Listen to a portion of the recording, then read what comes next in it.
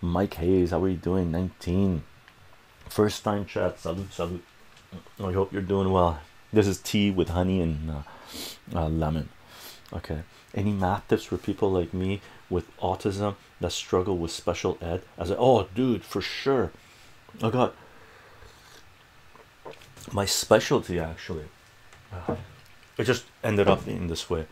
Um, over the years, just teaching, teaching what happened basically with our current indoctrination centers. I don't call them education centers anymore. It's indoctrination centers, right?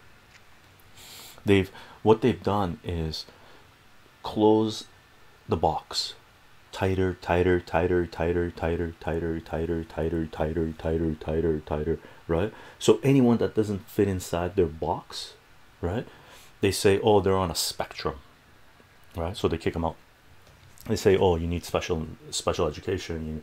You, you're uh, learning differences. You're this you're this you're this you're this. They don't consider the whole indoctrination system as the problem. They consider the students to be the problem right? So basically all of these students coming out i used to function within sort of was I had a couple of teachers i bounced off with and stuff like this. But slowly all the students that are being put outside the box i would start dealing with. And what i found basically is any students that are outside this spectrum and you call the on the spectrum right? And that's what the going terminology is in my part of the world right now. Oh you're on a spectrum. Whatever that means right? So any students that are on the spectrum uh, I've sort of become uh, very specialized in that. I'm very good at teaching students that are on the spectrum right? And this is what I found. Brilliant. Okay.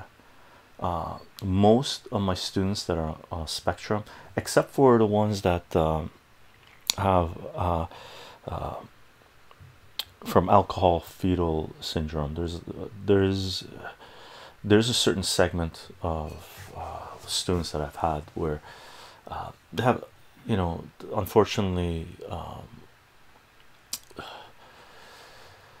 uh, their mothers had were drinking when they were pregnant so they have alcohol fetal syndrome and stuff like this. Outside of that uh, most of my students that are on the spectrum uh, they just want information fed to them fast enough uh, so it doesn't slow down their processing speed right? So uh, for sure. And let us know if Mike if, if there's anything that you you've had a hard time grasping.